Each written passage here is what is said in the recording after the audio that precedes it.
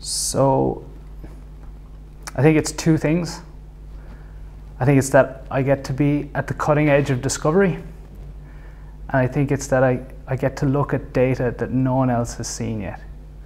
I suppose, well, I suppose that's it's the same with all scientists, really.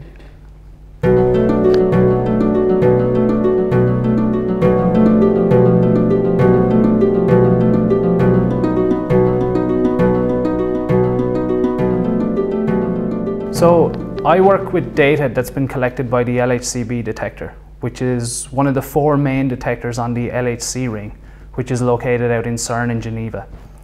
Um, basically, the LHC ring houses two energetic beams of protons that are brought into collision at four interaction regions around the ring.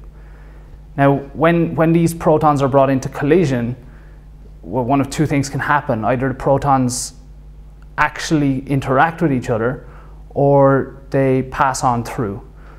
Now, in the case that they interact with each other, they can actually go on to make many more particles and many, many exotic particles whose properties we'd like to study. And one such particle is the Z boson. And it lives for a very, very short time before decaying to more stable particles, long-lived particles that we can measure inside our detector.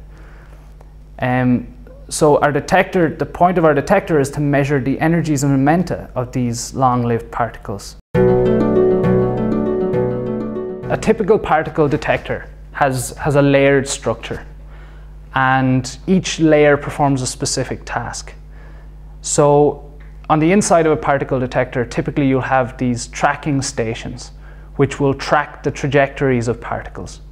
And if you like, you can, you can join up the dots for the, the, the, signals that the particle leaves in these particular layers. Then another feature of all particle detectors would be a magnetic field. Using the tracking stations and the magnetic field, we can work out what the momentum of the particles were. Then another essential feature of a particle detector is are the things called calorimeters. And essentially the calorimeter will measure the energies of the particles by breaking them and somehow robbing those particles of their energy.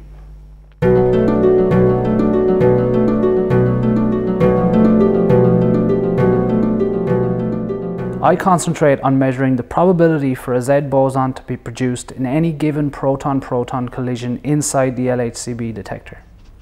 I then compare to state-of-the-art theoretical predictions.